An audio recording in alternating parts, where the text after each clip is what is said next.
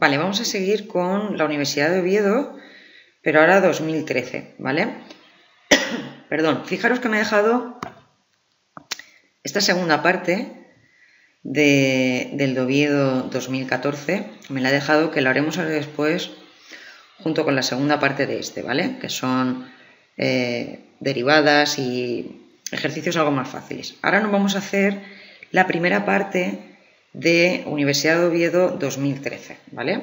Vamos a hacer esta primera parte de aquí, que vamos a ver lo que me pide. Me pide, estudie, en el apartado A, estudie la existencia del límite de la función, límite de la función f de x, en el punto x igual a 1, ¿vale? Me pide el límite de la función en x igual a 1 la existencia de ese límite. Vale, lo primero, hay que llevar muchísimo cuidado. Si nos fijamos, la función f de x está definida a trozos, ¿de acuerdo? Tenemos que f de x está definida como x más 1 si la x es mayor que 1 y está definida como x al cuadrado si la x es menor o igual que 1. ¿Qué significa eso? Pues significa que en un entorno del punto que me están pidiendo, en un entorno del punto 1, pues lo que tengo son cosas distintas a la izquierda y a la derecha de ese punto 1, ¿vale? Fijaros, es muy fácil hacerlo gráficamente y lo vamos a mirar primero gráficamente para que lo veáis y luego lo desarrollamos. Gráficamente, ¿qué tenemos? Pues tenemos, para los x mayores que 1 tenemos una recta, la recta igual a x más 1. Vale, pues la dibujamos, la, podemos dibujar perfectamente simplemente con los puntos de corte. Para x0 la y vale 1 y para y0 la x vale menos 1. ¿De acuerdo? Por lo tanto, voy a poner el punto x igual a 1, ¿vale? Me voy a poner el punto x igual a 1, que es justo donde corto, ¿de acuerdo? Entonces voy a poner aquí el 1. Para x1 la y vale 2. Y esto me lo voy a poner aquí recuadrado. ¿De acuerdo? O sea que a partir de ahí es de donde puedo dibujar la función. O sea que si yo me dibujo los ejes y yo tengo que para x0 la y vale 1 y que para x menos 1 la y vale 0 y para x1 la y vale 2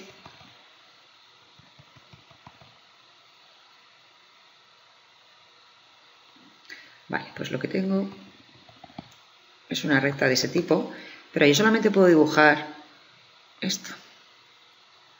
¿De acuerdo? Porque aquí tengo el punto x igual a 1. Y además me voy a fijar en una cosita más. Es para x mayores que 1, o sea que el punto 1, 2, ahí no lo tengo definido. ¿De acuerdo? El igual a 1 está definida en la otra parte. Vale, ya tenemos esa parte de la gráfica. Y igual a x más 1. Y ahora vamos a dibujar también la otra parte. La otra parte es una parábola, ¿vale? Y recordar que las parábolas era muy fácil dibujarlas. simplemente, si yo tenía una parábola en general igual a x al cuadrado más bx más c, pues si la a es positiva, sé que la parábola es hacia arriba, si la a es negativa, sé que la parábola es hacia abajo, y sabiendo el sentido que lleva la parábola y cómo calcular el vértice, en x menos b partido 2a y el vértice en y es simplemente sustituir, ¿vale? Pues sabiendo esto es muy fácil dibujar esa parábola de ahí. Vamos a dibujarla. Fijaros que nada más que tiene componente a, ¿de acuerdo? El polinomio solamente está definida la x al cuadrado. Por lo tanto, como eso es positivo, pues sé que la parábola va a ser con forma hacia arriba y me faltaría calcular el vértice. El vértice es muy fácil porque como no tengo b, sería 0 partido 1, el vértice está en 0, Y si sustituyo en la función para x0, la y también vale 0. O sea que tengo una parábola con, vamos a ponerla de otro color, con vértice en el punto 0, ¿de acuerdo? Y que va hacia arriba. ¿Qué me interesaría saber también y que es importante? Pues el punto donde estaba partida la función. Donde está partida la función es en 1. ¿Qué vale mi parábola para x igual a 1? Pues para x igual a 1 resulta que mi parábola vale 1. ¿De acuerdo? Pues nada, para x igual a 1, mi parábola vale 1. Y como aquí sí que tengo el igual, ¿vale? En mi definición de función sí que tengo el igual, pues ese punto de aquí sí que está cogido. Y como sé que está definida esa parábola para los x menores o iguales que 1, pues sé que mi dibujo va a ser así. Con lo que, gráficamente, fijaros que sí que podríamos contestar muy rápido a la pregunta que nos hacen. ¿De acuerdo? En la pregunta que nos hacen, lo que nos dicen es, estudie la existencia del límite de la función en el punto igual a 1, x igual a 1. Entonces, yo tengo que estudiar qué ocurre en el entorno del punto 1. ¿Qué ocurre en el entorno del punto 1? Vale, la función en el punto 1 acabamos de ver que vale 1. Vale.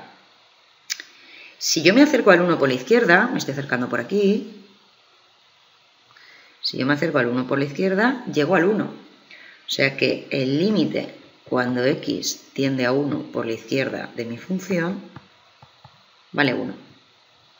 Sin embargo, si me acerco por la derecha, nos acercamos por aquí, estoy llegando al punto 2, ¿de acuerdo? Que es el punto este que hemos calculado aquí. El límite, cuando x tiende a 1 por la derecha de la función, vale 2. ¿Qué ocurre? Que los límites laterales no coinciden.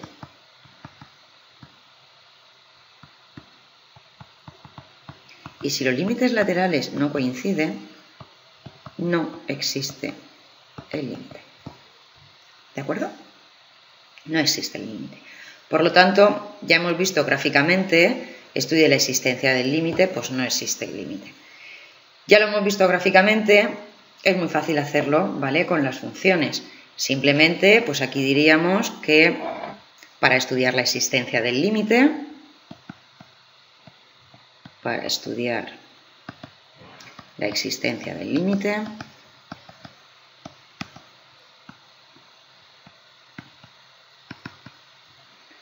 Bastaría con calcular los límites laterales.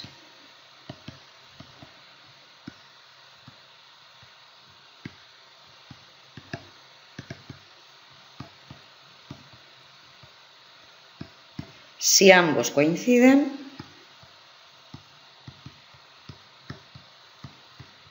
existe el límite de la función en el punto pedido, ¿vale? Y si no coinciden, pues no existe el límite.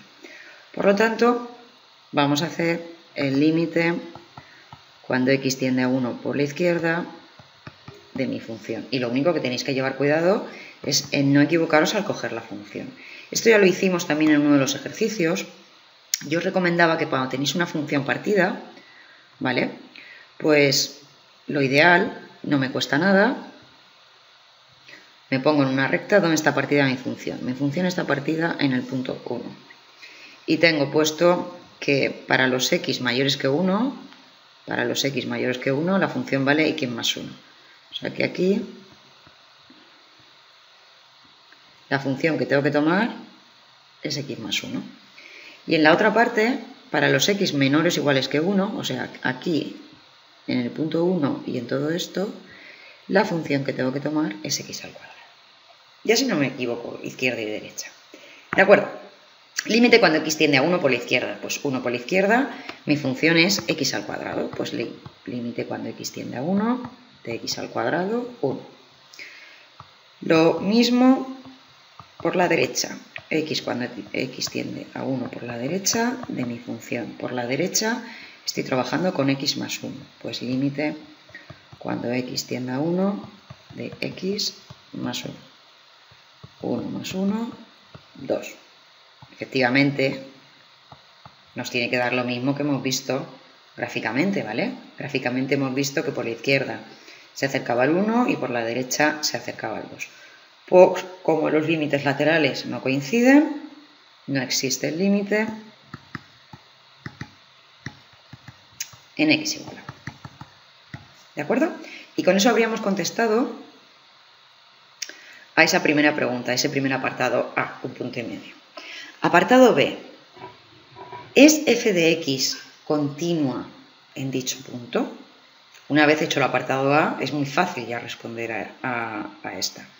Vale, me piden apartado B, es f de x continua en x igual a 1. ¿Hay que hacer algo? No, no hay que hacer nada. ¿Por qué? Vamos a mirarlo gráficamente. ¿Qué exigía la continuidad? ¿De acuerdo? La continuidad simplemente, y dijimos que lo más fácil, es si yo puedo dibujar una gráfica sin levantar el boli, mm, aquí no lo puedo hacer, mi función es continua. Vale, ¿en qué se basa la continuidad? La continuidad en un punto determinado se basa en la existencia del límite en ese punto. ¿De acuerdo? Fijaros que como aquí no coinciden los límites laterales, ¿vale? No existe el límite, por lo tanto mi función no es continua, ¿vale? O sea que eso lo podemos escribir ya. Como no existe el límite en x igual a 1, entonces f de x no es continua en x igual a 1. Vale, pero podemos decir, podemos dar alguna información más, ¿verdad? ¿Qué información podemos dar? Vale. Los límites laterales valen 1 y 2. O sea que estoy ante una función que no es continua, tiene una discontinuidad no evitable, ¿de acuerdo? Porque no coinciden los laterales, discontinuidad no evitable de salto finito. O sea que puedo decir, además, que es discontinua no evitable